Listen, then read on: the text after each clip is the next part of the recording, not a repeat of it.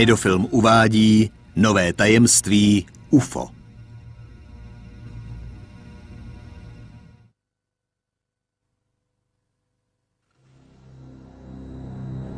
Myslím, že dnes není pochyb o tom, že existují tajné vlády.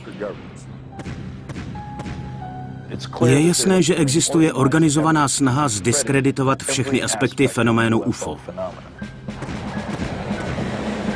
UFO se začalo utajovat kvůli obavám o národní bezpečnost. Když se zabýváte armádou, především otázkami bezpečnosti, jde o to v těchto věcech klamat. Je pravděpodobné, že se konečně dozvíme, jestli se incident v Rooseveltu skutečně stal nebo ne. Jak byste dokázali udržet takové tajemství tak dlouho?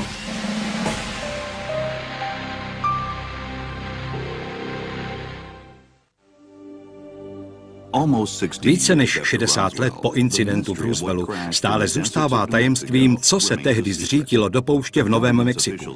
Oficiální postoj vlády existenci UFO dodnes popírá. Očití svědkové přicházejí a odcházejí. Projekt Modrá kniha, studijní program amerického letectva o UFO, dávno skončil. Mnoho otázek ale zůstává. Badatelé a soukromí vyšetřovatelé nadále sledují každou stopu v naději, že jednoho dne bude odhalena pravda. Tajné vládní dokumenty, které nedávno unikly, mohou být prvním skutečným důkazem vrhajícím světlo do tohoto nekonečného příběhu. Rozhodl jsem se, že místo prohlížení fotografií nebo snahy rozstřídit nové svědecké výpovědi, bude lepší, když zkusím nový přístup. A to ověřování autenticity dokumentů. Tyto dokumenty, které pocházejí ze 40. a 50. let minulého století, upozorňují na mimozemský kontakt a tajnou operaci, která měla tento jev proskoumat. Tento projekt vedla skupina mužů, povolaných na rozkaz prezidenta. Pracovali pod kódovým jménem Majestic 12 neboli Velká dvanáctka, nebo jednoduše MJ12. Pokud je pravda, že vláda Spojených států vyvíjela velmi iniciativní, ale přísně utajované úsilí schromažďovat a zadržovat informace o fenoménu UFO, včetně údajných havárií UFO, jejich setkání s armádou a dalších věcech, je naprosto jasné, že o této snaze musí existovat nějaké dokumenty. A když se dívám na dokumenty ME12, říkám si, tohle jsou přesně takové dokumenty, které by člověk čekal, že uvidí. Takové dokumenty musí existovat. Členové mají jednoznačný názor, že by se Velká dvanáctka měla stát plně financovanou operační a přísně tajnou výzkumnou a vývojovou organizací, která bude schromažďovat tajné informace. Zároveň se doporučuje, aby do čela zmíněné organizace byla jmenována skupina odborníků, kteří budou dohlížet na její fungování a operace. Na těchto dokumentech mě nejvíce zaujaly všechny ty ověřitelné detaily. Máme spoustu jmen, dat a míst, která můžeme prověřit. Budeme se té věci věnovat několik následujících roků, ale již teď vypadá velmi působivě. Prověřované skutečnosti se zdají být pravdivé, skutečné a autentické. Hlavní pochybnosti u těchto dokumentů vzbuzuje, že nevíme, kde se vzali. Samozřejmě musíme zvážit, že ať už je do oběhu pustil kdokoliv, porušil zákon a hrozí mu vysoký trest za to, že ofotil tajné dokumenty a předal je lidem, kteří neměli vůbec žádné oprávnění se k ním dostat. Začalo to v roce 1988, kdy jsem na základě zákona o svobodě informací začal žádat vládu o jakékoliv informace o UFO. A v říjnu 1992 jsem šel na poštu a z obálky jsem vytáhl Time magazín, ve kterém byl vložený dokument. Myslel jsem si, že je to nějaký vtip. Tehdy jsem pracoval jako ostraha u společnosti Pinot Landing a jednou přišel k bráně starý pán, který se představil jako Thomas Cantwell. Řekl mi, že od roku 1942 byl v armádní kontrarozvědce v jednotce pro meziplanetární jevy a že až skoro do 80. let minulého století byl zapojený do programu UFO. Jenom mi chtěl říct, že je to pravda, se vším se mi svěřit, dostat to ze sebe, protože si myslel, že se jeho život krátí. IPU je zkrátka pro jednotku pro meziplanetární jevy. Povídá se, že na konci 40. a počátkem 50. let minulého století to byla armádní jednotka. Někteří lidé s ní spojují zesnulého Douglasa MacArthura. Údajně byl zapojený do jakéhosi prvního zkoumání UFO. A můj otec se několik let osobně podílel na programu UFO u letectva Spojených států. Když jsem po otcově smrti procházel jeho papíry, zjistil jsem také, že od letectva dostal medaily za zásluhy a obdržel speciální pochvalu na příkaz generála Limeje za výjimečnou práci v programu UFO letectva Spojených států. Mně je docela jasné, že UFO skutečně existuje. Informace, které máme v ruce, mi to bez nejmenších pochybností potvrzují. To, že nějaké UFO skutečně existuje, potvrzuje zkoumání mimozemských lodí. Tahle otázka vůbec nesouvisí s tím, jestli dokumenty MJ12 jsou nebo nejsou pravé. O UFO jsem se nezajímal, ani jsem tomu nevěřil a nikdy mě nenapadlo, že bych o tom jevu měl přemýšlet.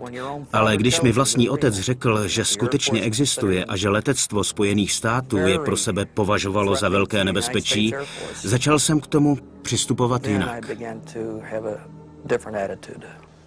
Dokumenty, které Tim Cooper měl, byly opravdu velmi rozsáhlé.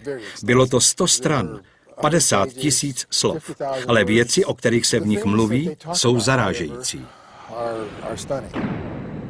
Členové rady se shodli, že dokud nebude získán jasný důkaz o tom, že Rusové provedli několik průzkumných letů nad našimi nejtajnějšími budovami, budou tato pozorování a objevené objekty považovány za mimozemské. V jednom z dokumentů MJ12 je doslova pohřbeno hlášení, které odkazuje na objev z roku 1941.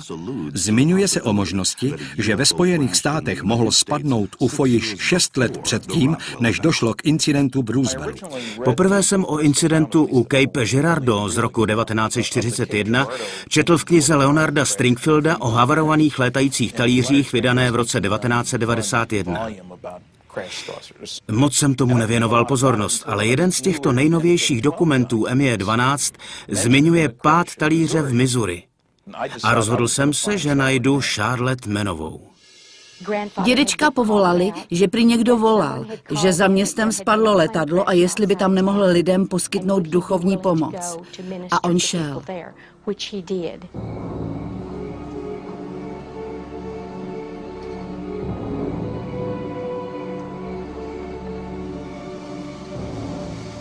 Když tam dojel, bylo to něco úplně jiného. Neleželo tam běžné letadlo, jaké známe.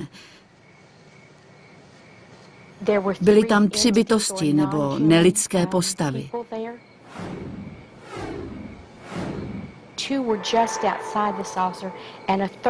Dvě byly hned před talířem a třetí byla trochu víc vzadu.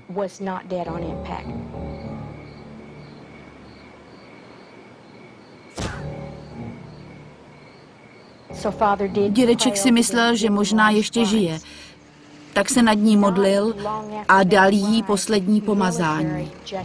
Krátce poté, co tam dorazil, se objevila také armáda a celou oblast uzavřela. Dědeček nevěděl, co řekli ostatním, ale jemu řekli, že se to nestalo. Tohle jste neviděl. Tady jde o národní bezpečnost. Už nikdy o tom nebudete mluvit.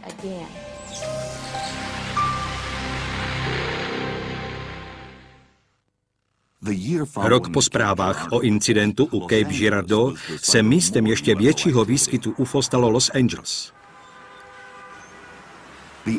Při leteckém útoku u LA byly údajně sestřeleny další dva talíře, jeden z nich těsně u kalifornského pobřeží. Armádní letecký sbor také objevil podobný objekt v horách San Bernardino, východně od Los Angeles, který nelze identifikovat jako běžný letoun. Jeho velitelství došlo k rozhodnutí, že tajemné letouny opravdu nejsou pozemské a podle tajných informačních zdrojů jsou všechny pravděpodobně meziplanetárního původu. Spojené státy byly ve válce a zdá se, že prezident Roosevelt nebral meziplanetární úkazy jako hrozbu, ale jako skvělou příležitost. Zvážil jsem povahu materiálu, který armáda získala a který může mít velký význam při vývoji špičkové válečné zbraně. K vítězství ve válce byla vyvinuta nová špičková zbraň. Byla testována v odlehlých oblastech Nového Mexika a Nevady. Přísně tajný projekt Manhattan, který navždy změnil svět, vedl doktor Robert Oppenheimer. Teď už je v sázce poměrně hodně. Bude to fungovat dobře, Roberte. A jsem si jistý, že toho nikdy nebudeme litovat. No, to se dovíme za 40 sekund.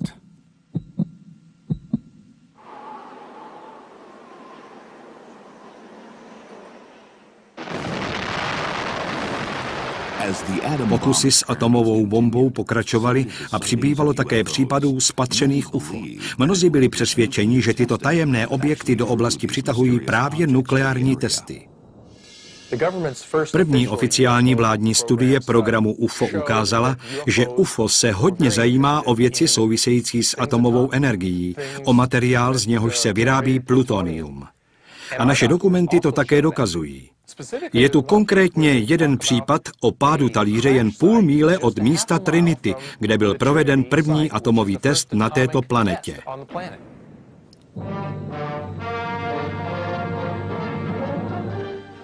Tohle je statečná posádka, která letěla s velkou B-29 a schodila z ní na Japonsko první atomovou bombu. Pilotoval jí plukovník Paul Tibets junior z Miami, na palubě byl ještě jako pozorovatel kapitán námořnictva William Sperson z Chicaga, který pomáhal bombu sestrojit, a major Thomas Fereby z Knoxville v severní Karolíně, který bombu na Hirošimu schodil. Nálož vybuchla se silou 20 tisíc tun TNT. Když bomba dopadla v roce 1945 na Japonsko, skončila válka, ale aktivita UFO nikoli. V červnu 1947 fyzik Albert Einstein a jaderný fyzik Robert Oppenheimer sestavili zprávu, ve které schrnuli své názory na přístup k mimozemským biologickým tvorům, pokud opravdu existují. Je těžké předvídat, jaký bude přístup mezinárodního práva k tomu, že mimozemšťané okupují některé oblasti oblasti na naší planetě. Zatím můžeme jenom předvídat, že dojde k zásadní změně jeho stávajícího pojetí. Titulek z 8. července 1947. Armádní letectvo oznámilo, že byl nalezen létající talíř, který je nyní v držení armády. Armádní důstojníci řekli, že střela nalezená minulý týden byla proskoumána v Rooseveltu v Novém Mexiku a bude poslána na další testy. Když zprávy o havarovaném talíři poblíž Rooseveltu v Novém Mexiku zaplavily rozhlasové vlny, vláda byla připravena. Z talíře se rychle stala balónová sonda a začalo se s politikou výmluv a vytáček. Ta trvala desítky let.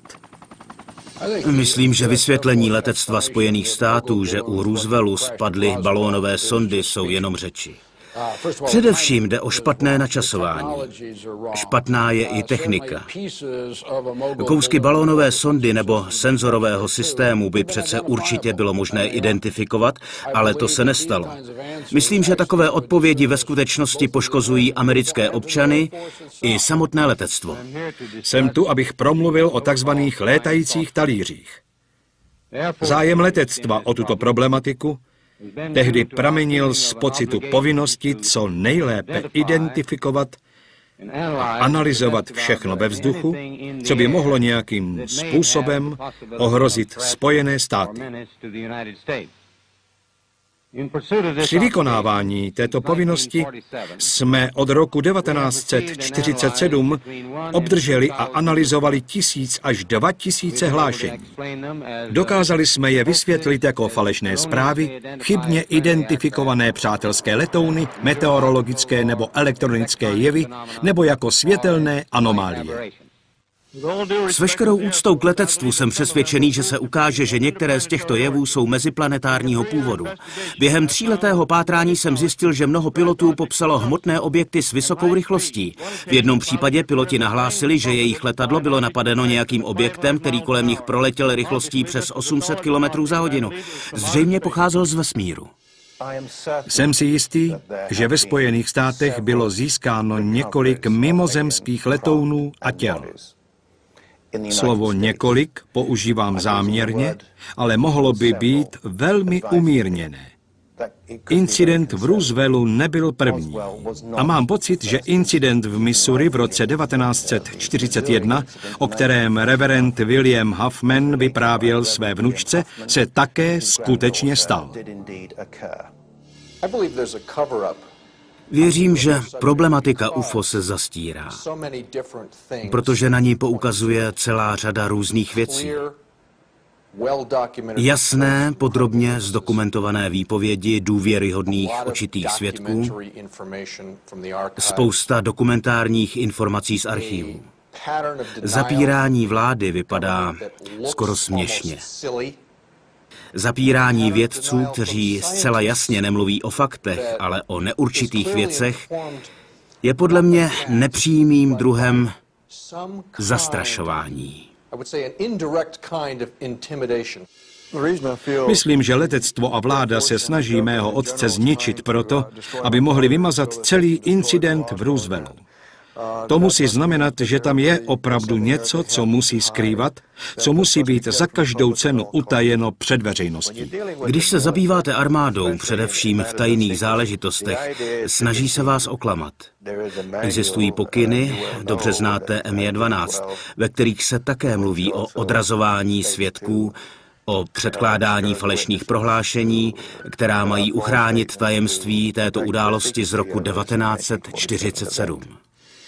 Jeden z prvních dokumentů, které jsem získal, se nazývá Získávání a likvidace mimozemských bytostí a technologií. Obsah speciálního operačního manuálu je opravdu docela zarážející. Vysvětluje, proč je tak důležité udržet to v tajnosti a jak v celé záležitosti postupují. Jak udržují veřejnost v nevědomosti, jaké lži a jaké klamné výpovědi jim napovídali. Musí se dbát velké pozornosti na zachování bezpečnosti každé oblasti, kde může být získána mimozemská technologie pro vědecký výzkum. A nejpravděpodobnější reakcí veřejnosti bude, že došlo k něčemu neobvyklému.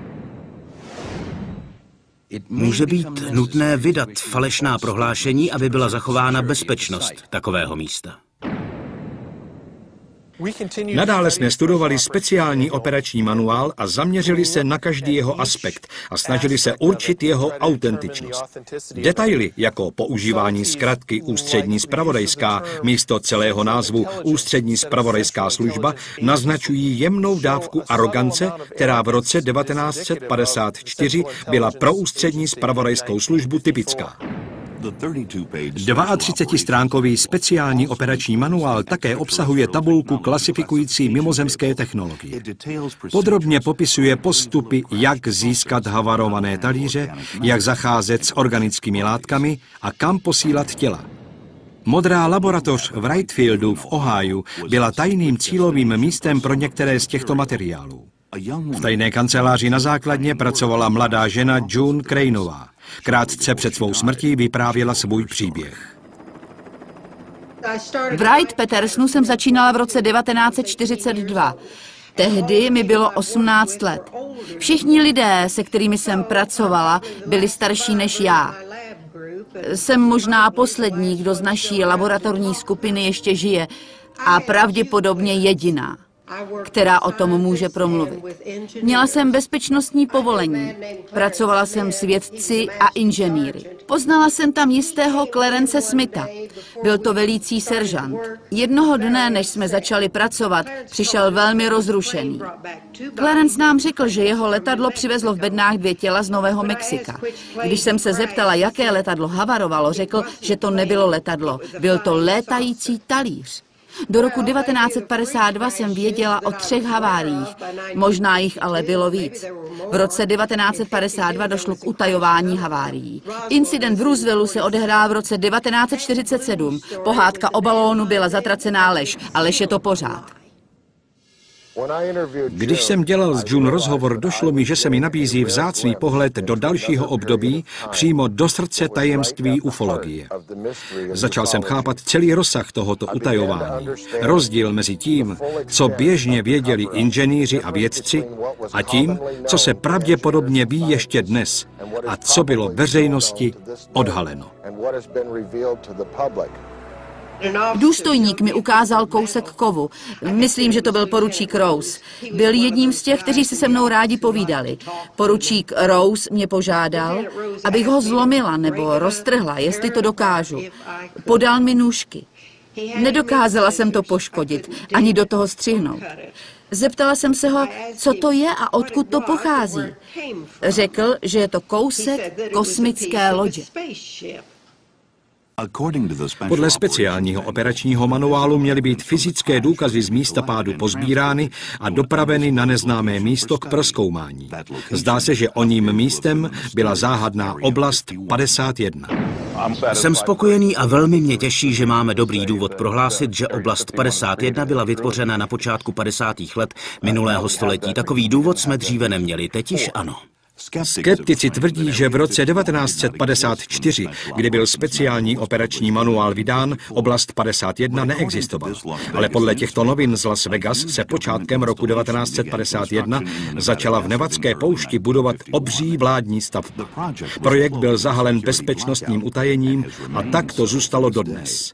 Mnozí věří, že právě tam jsou zkoumány technologie z mimozemských strojů. Přivádí nás to k jedné otázce. Odpověď neznám, ale ptám se, do jaké míry jsme v analýze některých technologií souvisejících s havarovanými letajícími talíři byli úspěšní. Teď, když byla překonána zvuková bariéra, je cílem experimentálního raketového letounu X-2 tepelná bariéra. Střela z nerzové oceli byla vyrobena tak, aby vydržela rychlosti přesahující 3200 km za hodinu. Je vypuštěna. Raketový letoun nepoužívá při těchto testech žádné palivo, ale později, až dosáhne maximální rychlosti, může teplo vznikající třením dosáhnout hodnoty přes 1000 stupňů. Schopnost kovu a příměsí vydržet takové horko by mohla poskytnout cené údaje pro navrhovaná kosmická letadla a družice. To může nabídnout některé odpovědi při vstupu světa do vesmírného věku. Komise pro atomovou energii a projekt pro nukleární pohon letadel v současnosti provádí výzkum moderních technologií a atomových motorů a studie radikálních pohonů. Využití paliv s vodíkovým základem a elektrohydrodynamické technologie mohou vést k vývoji obřích letounů, které překonají pětinásobek rychlosti zvuku. Ano, některé technologie se zdokonalily nebo objevily a dnes se používají. Víte, myslím, že všechno, co bylo v letech 1942 až 1947 utajováno, mělo své opodstatnění.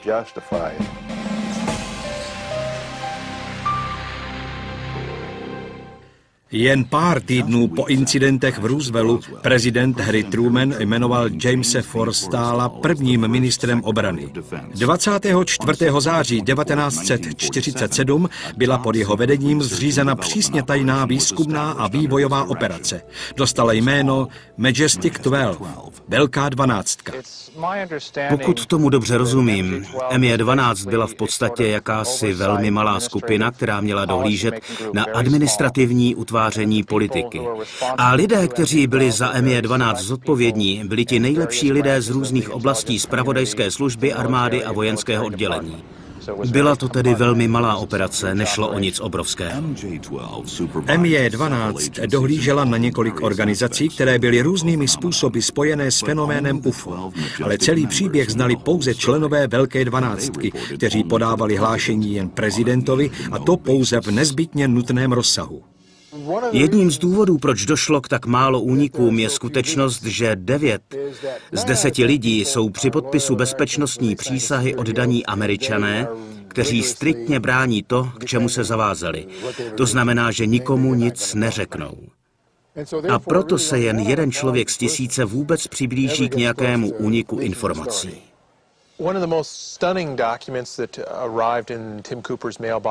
Jedním z nejsenzačnějších dokumentů, které přišly Timu Cooperovi do schránky, byla první výroční zpráva operace Velká dvanáctka. Byla to první zpráva a pak tři přílohy o 17 stranách. Obsahovala mnoho neobvyklých poznámek. Všechno od pohřešovaných vojáků po letadla, která byla sestřelena při pronásledování UFO. Je tam část nazvaná vládní politika kontroly a zapírání. Jedním z nejnáročnějších aspektů kontroly toho, jak veřejnost vnímá vládní pokusy o zapírání a nevědomost, je efektivní ovládání tisku. Lidé se ptali, jak by bylo vůbec možné udržet takové tajemství tak dlouho. Dokázali to tak, že začali s bezpečnostními procedurami, které jsme vyvinuli během projektu Manhattan při vývoji první atomové bomby. Spočívali v roztříštěnosti, kdy se každé skupině sdělila pouze část celého příběhu. Proto má málo kdo ucelený obraz a pak samozřejmě přišly bezpečnostní prověrky, bezpečnostní přísahy, pokuty a nakonec výhrušky.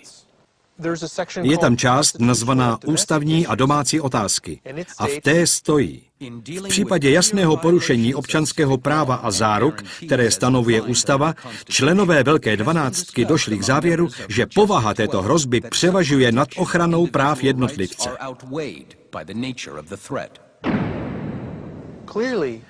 Zjevně si mysleli, že přistání mimozemšťanů nebo jejich kontakt s americkými občany byl natolik důležitý, že mohou kontrolovat, zachytit a řídit všechny aspekty této interakce.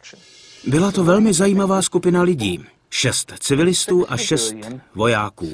Dva z letectva, dva z armády a dva z námořnictva.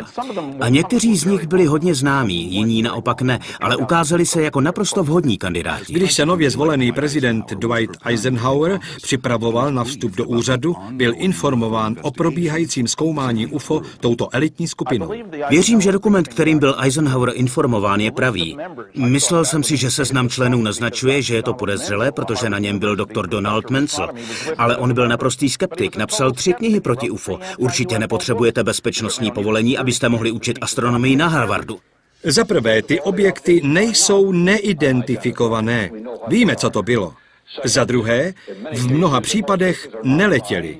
A konečně to mnohdy ani nebyly hmotné objekty. Ke svému naprostému úžasu jsem zjistil, že vedl dvojí život. Že pracoval pro Národní bezpečnostní úřad, pracoval pro CIA, měl přísně tajné bezpečnostní povolení, dělal tajnou práci pro 30 společností, nikdo o tom nevěděl.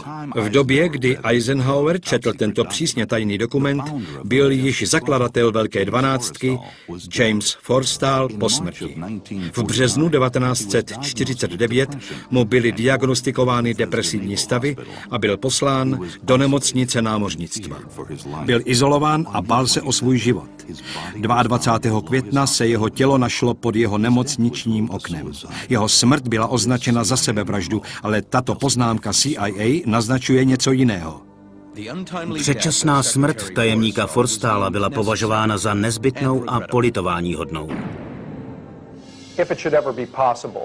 Pokud by se nám někdy podařilo dokázat, že tyto dokumenty jsou pravé, pak samozřejmě naznačují naprosto odlišnou historii, než jsme si mysleli. Ukazují na vládní vrstvy, o jejíž existenci nevíme. Ukazují na vládní postupy, které jsou v rozporu s ústavou. Vykreslují obraz světa, který je hodně odlišný od toho, co průměrný člověk čeká. A samozřejmě také světa, ve kterém kolem nás létají mimozemšťané, které vládní složky chytají a studují. Je to doopravdy hodně zvláštní obrázek. Na základě přibývajících důkazů jsem přesvědčený, že se děje něco velmi zvláštního. Že počet různých svědectví představuje jen zlomek něčeho, co možná není pravdivé, ale děje se něco velmi, velmi zvláštního. Převažují důkazy. Veteráni začínají mluvit. Jsou tu dokumenty, které sbírají Bob a Ryan Woodovi. A to je seriózní vědecký výzkum. Předložili velmi přesvědčivý případ. Je těžké ho ignorovat. Zvolili jsme postupy, které používají lidé, kteří zkoumají pravost dokumentů. A některé z nich jsme také najali. Tyto techniky jsou velmi účinné, protože soudci u soudu umožňují poznat rozdíl mezi pravým a falešným dokumentem. Stupeň věrohodnosti lze určit porovnáváním našich dokumentů se známými autentickými dokumenty v archívech, pokud jde například o speciální razítka, čísla spisů, formáty datumů, řádkování a členění odstavců. Často hodně prozrazuje označení spisů. V některých dokumentech jsou špatně napsaná slova. Znamená to, že jde o podvrhy? To si nemyslíme. Tyto originály jsou nejspíš hrubé koncepty, na kterých by před dokončením finální verze ještě pracovali korektoři a sazeči. Lidé, kteří zkoumají pravost dokumentů, se zaměřují také na písmo. Když studujete typografii a obeznámíte se s tím, jak fungovala tehdejší technika, zjistíte, že poměrně často bylo výraznější písmeno Z, protože se běžně nepoužívalo, nebylo opotřebované. Našli jsme dokument z té doby, na kterém je vystouplé Z. To je právě jedna z věcí, které svědčí o autentičnosti.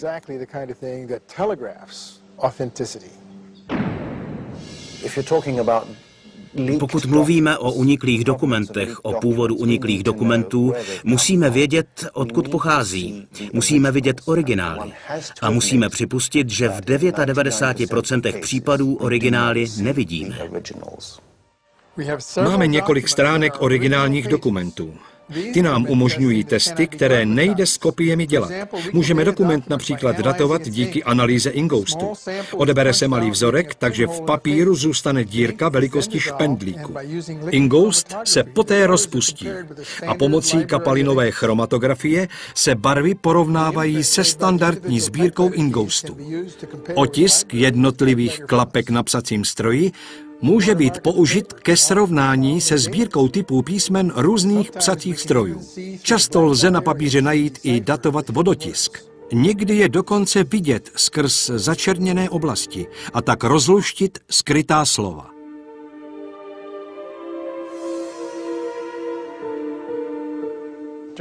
Při ověřování dokumentu, kterým byl informován Eisenhower, zašel Stan Friedman do Národního archivu a za přítomnosti archiváře našel v jejich spisech takzvanou poznámku Cutler Twining, ve které se mluví o ME 12.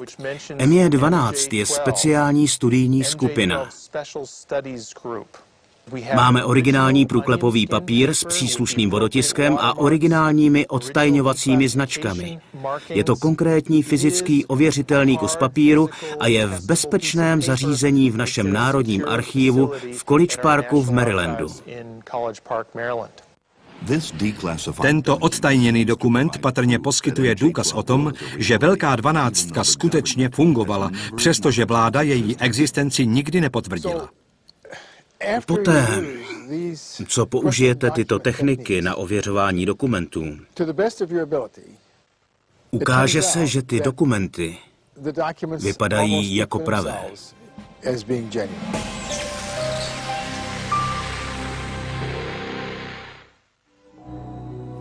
Pokud jsou dokumenty Velké dvanáctky pravé, nabízejí nový pohled na možná nejpečlivěji střežené tajemství v historii lidstva. Tajemství, které bylo usilovně chráněno hodně dlouhou dobu. Myslím, že úplné vládní utajování této informace, která je svým významem ještě nad úrovní přísně tajné, začalo v roce 1947 a možná dříve. Protože si myslím, že celý tento kolotoč možná začal už během druhé světové světové války.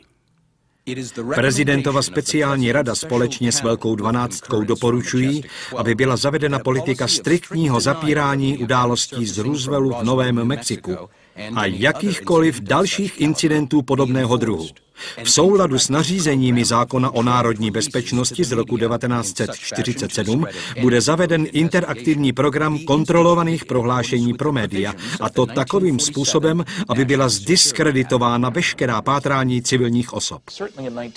V roce 1947 si vláda rozhodně nemohla dovolit tyto informace zveřejnit. Nemohli si dovolit říct, podívejte, jsou tu mimozemské kosmické lodě, které vstupují do našeho vzdušného prostoru. To by bylo naprosto nezodpovědné. Není pochyb o tom, že tehdy to bylo ospravedlnitelné. Myslím, že je docela možné, že většina celého utajování je způsobena tím, že úřady nemají všechny odpovědi. Ze dne na den nebo z roku na rok si nemohou být jisti tím, co se přesně děje. V polovině 60. let minulého století zjevný zájem vlády o UFO poklesl, ale vlna nových svědectví o záhadných světlech a pohybujících se objektech vyvolala novou diskuzi. Pozoruje nás nějaké technické zařízení, které je před námi, hodně před námi a pravděpodobně ho ovládá velmi vyspělá civilizace, dokonalejší než ta naše. Tohle je závěr, ke kterému jsem osobně došel a který sdílí někteří členové naší rady guvernérů a poradců. Ne všichni, ale dospěli jsme do fáze, kdy ke stejnému závěru došlo mnoho lidí z letectva. Letectvo kdysi mělo přísně tajnou domněnku, že tyto věci jsou meziplanetární vesmírné lodě. Na základě toho, co víme o technologii a inteligenci těchto návštěvníků, je skoro jisté, že dojde k dalším pozorováním a setkáním převratné povahy. O jejich úmyslech a modu operandy nemáme jasno. Ale je zřejmé, že kdyby tito návštěvníci chtěli dobít zemi, nebylo by to pro ně těžké, když vezmeme v úvahu jejich schopnost libovolně prostupovat naším vzdušným prostorem. Myslím, že se to rozvinulo v mnohem složitější systém, jehož jedna část se zabývá vysoce moderními projekty a jejich utajením. Kdyby veřejnosti něco řekli, začali bychom volat po dalších informacích, které by mohly ohrozit bezpečnost těchto programů. Dalším problémem je skutečnost, že to utajovali tak dlouho. Kdyby to teď přiznali, vyvolalo by to proti vládě a spravodajské službě odpor. Pokud tyto dokumenty odhalují dlouhý, systematický a vysoce propojený postup pro zacházení s informacemi o UFO, pro utajování těchto informací, pro zasahování na různých místech a pro udržování všech lidí mimo tento okruh v nevědomosti, pak je struktura, která to způsobila v dějinách lidstva významným fenoménem. Myslím, že dokumenty MJ12 jsou mimořádně důležité. Nejspíš to jsou nejdůležitější vládní dokumenty, které kdy prosákly na veřejnost. Pokud jsou pravé, tak totiž potvrzují, že Spojené státy vědí, že mimozemšťané navštěvují Zemi, že nejsou samozřejmě dokonalí. Alespoň jednou se jejich loď již zřítila a podnikáme kroky, abychom se z této havárie dozvěděli co nejvíce a pokusili se pochopit, co se děje. Proč by pro Boha tajili existenci mimozemského života? Největší objev v historii lidstva. A dodnes platí, že hlavním důvodem pochopitelně je, aby se této technologie nezmocnil jejich nepřítel, kterým byl v dobách studené války Sovětský svaz. Technologie byla tím hnacím strojem. Dalším důvodem pro utajování je skutečnost, že nechtěli, aby veřejnost věděla, že nedokážeme kontrolovat náš vzdušný prostor. S naléhavou rychlostí se do vzduchu vznesly proudové bojové letouny. Každá sekunda hraje roli. Musí být schopny zastavit tajemné letadlo dřív, než doletí k cíli a schodí bombu. Jedním případem, kdy se v těch dokumentech mluví o technologii, je analytická zpráva z Laboratoře pro výzkum a vývoj, datovaná k 2. září 1947, ve které je v podstatě první popis vláknové optiky. Píše se v ní. Letové přístroje a zařízení jsou aktivovány optickými vlnovodnými vlákny, která jsou podobná skleněným tyčinkám, ale jsou pružnější a mají vnější plastový obal. Tento vnější obal je jakýmsi klíčem k průlomu v oblasti optických vláken, která umožňují přenos signálu s minimálními ztrátami. Tenhle princip byl popisován už v roce 1947. Jeden z dokumentů, který je obzvlášť zajímavý, je dokument z konce léta roku 1947. Připravil ho a schválil generál poručík Nathan Twining.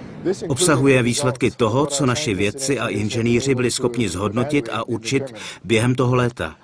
A jedna z věcí, která mě opravdu zaráží, je popis, který mluví o sérii jemných čar v jakémsi mřížkovém vzoru, které spojovaly body z ryzího stříbra. To se popisem velmi blíží dnešnímu integrovanému obvodu. Jedna zajímavá věc ohledně kosmických lodí je, že nenesli žádné palivo. Nebylo tam žádné palivo. Předpokládali, že byly poháněny řadou článků, obloukovitými články pod vlastní lodí, které naznačují, že nějakým způsobem sbírali energii z atmosféry. To je jedna z oblastí, kterou ještě neobjevili nebo nenašli. Co se týče myšlenky zpětného inženýrství, havarované nebo zachycené vesmírné lodě, doufám, že to udělali. Nedokážu si představit, že by se tam dělo něco delší dobu, než je délka života většiny lidí, kteří nyní sledují tento pořad a nic by se s tím nedělalo. Tento potenciál pro získání nových vědomostí je ohromný. A nedokážu si představit, že by neskusili zpětné inženýrství. Letoun YB-49 vyráží na svůj první let.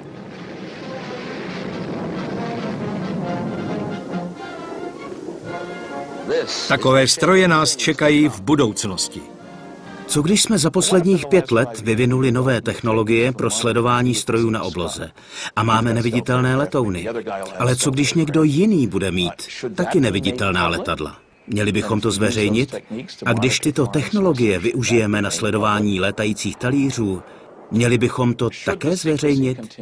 Mělo by teď utajování pokračovat? Nikdy jsem nebyl zastáncem toho, aby se všechno vyložilo na stůl a nové technologie už určitě ne. Ohledně toho, co by vláda měla dělat při utajování pravdy o létajících talířích, mám smíšené pocity. Chtěl bych, aby vláda vystoupila s tím, že vodila za nos mnoho lidí. Takové prohlášení vlády by přineslo obrovské množství nových informací. Jsou tyto dokumenty pravé a je jejich svědectví pravdivé? Jsem přesvědčený, že existují čtyři možnosti. První samozřejmě je, že jsou to podvrhy, vytvořené jako vtip nějakého nadaného amatéra.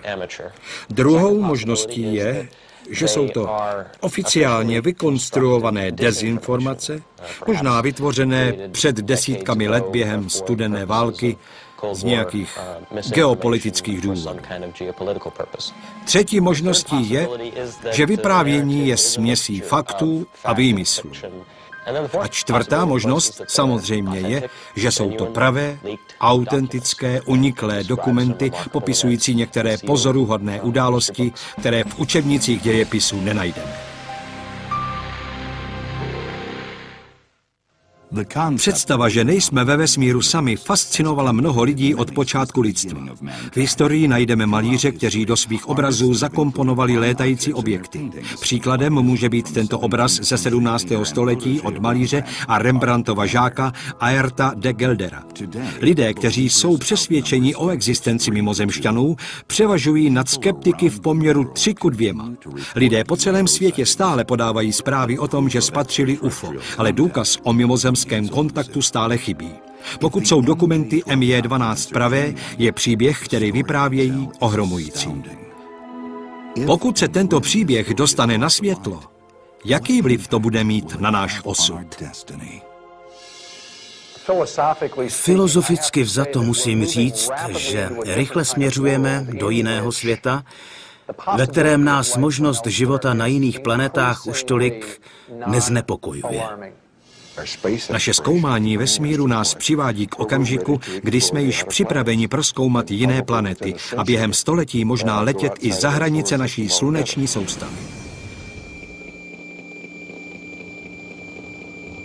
Proto nastal čas, abychom se všechno dozvěděli v zájmu vědy, stability naší vlády a v zájmu samotné civilizace. Informacím o létajících talířích se věnuji už přes 40 let. Pracoval jsem na tajných vládou podporovaných programech. Je jasné, že existuje organizovaná snaha zdiskreditovat všechny aspekty fenoménu UFO. Tyto dokumenty nejsou výjimkou. Pokud jsou pravé, mají pro celé lidstvo mimořádný význam. Pokud jsme opravdu někdy v posledních 50 letech získali mimozemskou kosmickou loď, pak samozřejmě vlastníme také rozhodující důkaz o tom, že nejsme ve vesmíru sami.